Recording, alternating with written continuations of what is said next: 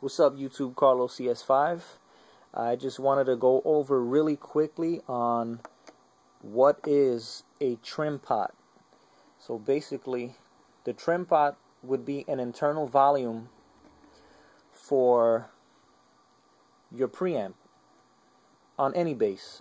Uh, specifically, my bass is the Carvin SB5000, and so um, I've been wanting to get a little bit more output out of my preamp. So what I'm going to do is I'm going to adjust or actually bring up the internal volume. It would be like having turbo on a car.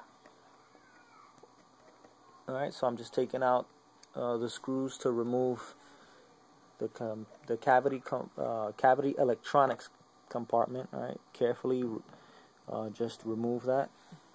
Make sure you don't pull any wires. There is the trim pot control. That little blue, uh, this little blue box right here, that's the trim pot. And that little, uh, looks like a Phillips screw head right there.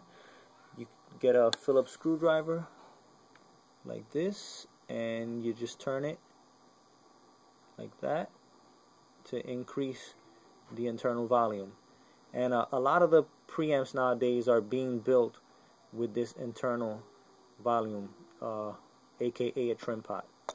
Alright, so I just brought it all the way up.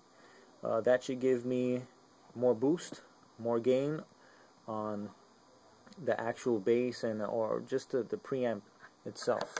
And that's pretty much, you know, how you uh, bring up the internal volume on it, you know, the trim pot for the for the preamp. And then you just make sure everything is tucked in nice and neat and just close it right back up. And that's pretty much it. Hopefully this was informative.